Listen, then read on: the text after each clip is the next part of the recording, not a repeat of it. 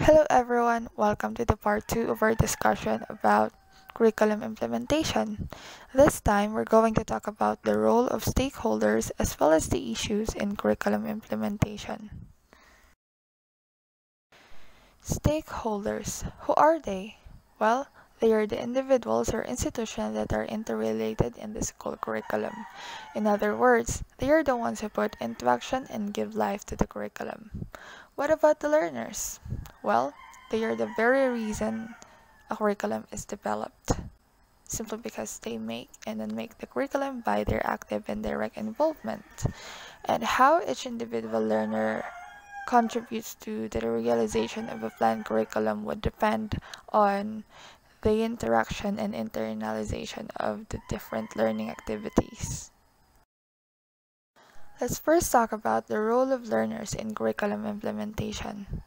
They are the primary stakeholders in the curriculum, and they were classified according to their age, sex, physical, mental, and emotional development, cultural background, and aspiration and personal goals. Because each learner varies from one another, and by classifying how they differ, the teacher can be able to come up with ideas on how to address their different needs. Now let's talk about teachers as curriculum developers and implementers. Planning and writing the curriculum are the primary role of teacher. A teacher is a curriculum maker or curriculist.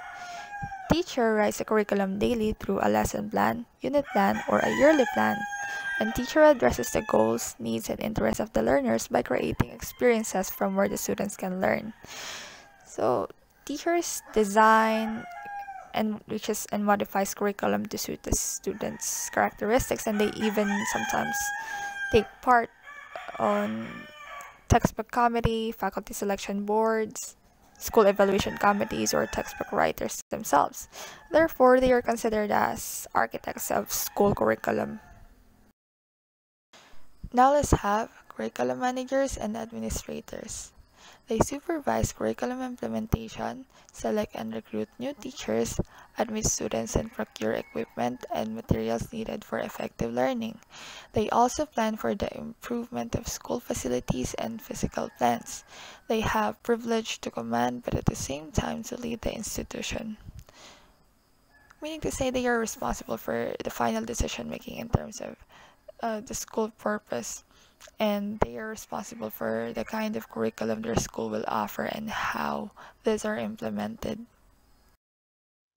Now let's have parents as supporters of the curriculum. It simply means that the parents are the best supporters of the school, especially because they are the ones paying for their child's education. Effective parental involvement in school affairs may be linked to parent education program which is central to high quality educational experiences of the children. And parents' involvement extends from the confine of school to the home.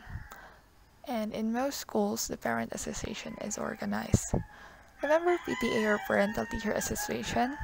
Especially back when we were in elementary and high school meetings were held at school and parents are invited so that they can be informed about the plans that the school is trying to make. And of course, their suggestions and comments are being highly valued since it's for the welfare of their own children.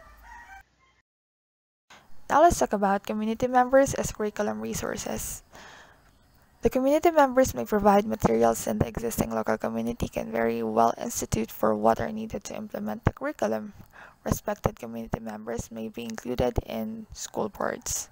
This is why sometimes we notice that in schools, some community members are even invited as resource speakers because they can provide local and indigenous knowledge in the school curriculum. Lastly, let's talk about other stakeholders in curriculum implementation. First, we have professional organizations. So they are being asked by the curriculum especially to contribute in curriculum review because they have voice in licensure examination, curriculum enhancement, and etc.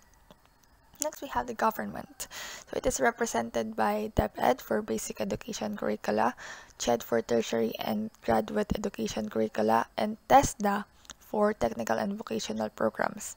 And third, we have Professional Regulation Commission. So this third agency has high stake in schools curricula because graduates of the different tertiary degrees must be certified as professionals. Now let's proceed to the issues of implementation. Number one, for involvement of teachers in matters relating to curriculum implementation.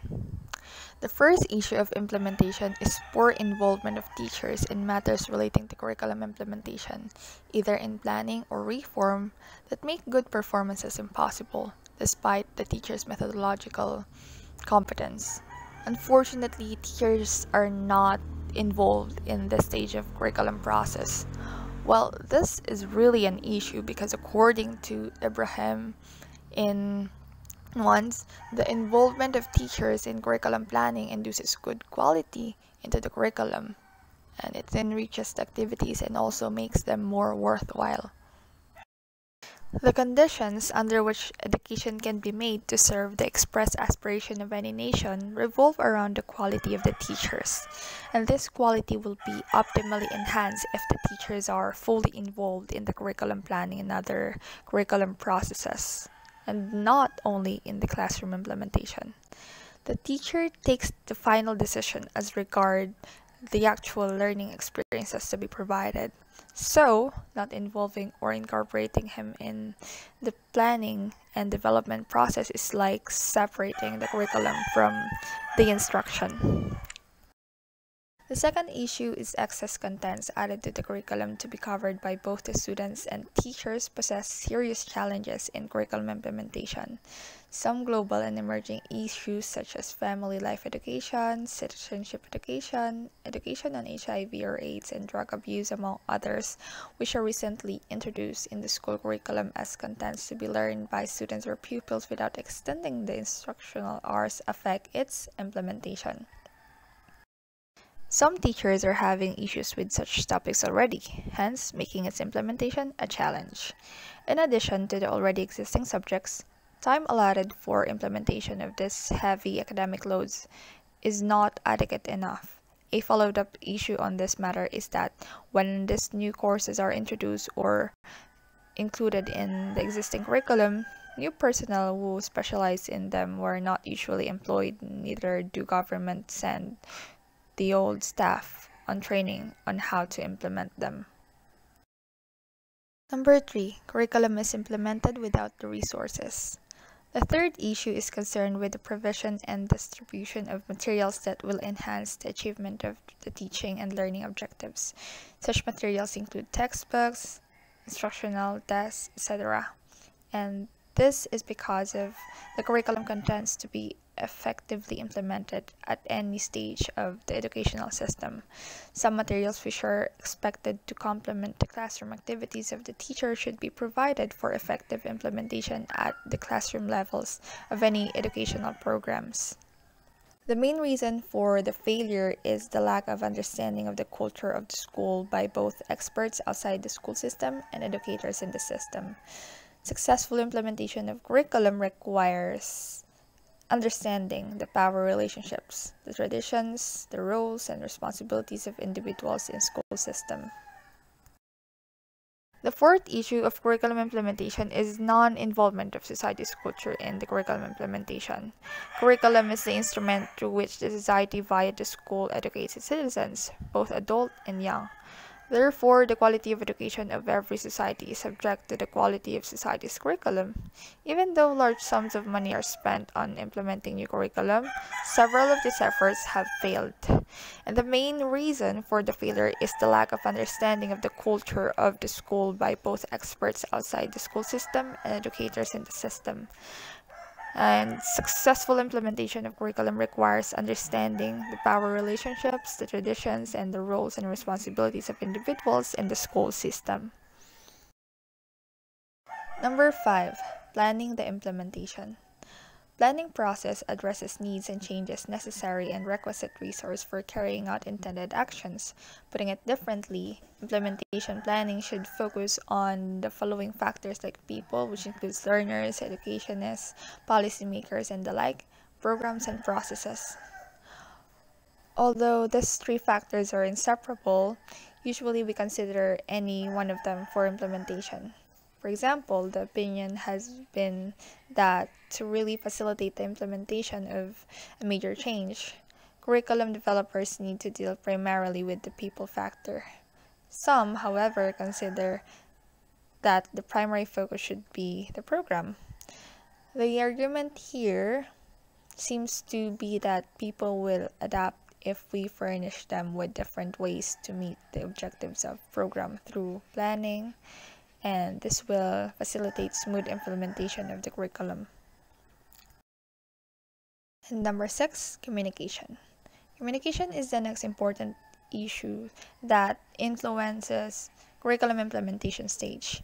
We know that communication deals with message, so sending and receiving it is not sufficient enough to ensure that communication will be effective or that messages sent will be accurate or of high quality. The curriculum specialist, therefore, must be sure that the communication network is comprehensive and that avenues for sending messages exist at all levels of the curriculum implementation process. For instance, if we want to communicate some factual details about new program being launched, we can use such means as letters, memos, articles, books, bulletins, research reports, or speeches. Supposing the new program is a major change from the existing one, we can communicate it effectively through workshops, conferences, um, demonstrations, and the like. Thus, it is essential that we should be able to create an atmosphere conducive to effective communication among all the members of the educational staff and community. Further, we need to inform them that their views are welcome and that they are all they all have responsibility to participate in sending and processing messages of curriculum implementation activity. And for generalization, Curriculum is the vehicle that contains the good. The teacher is the driver who delivers the goods to the consumers of the goods, who are the learners. Therefore, the teacher is at the center of activities in curriculum implementation. And that's it for our discussion about curriculum implementation. Thank you so much for listening.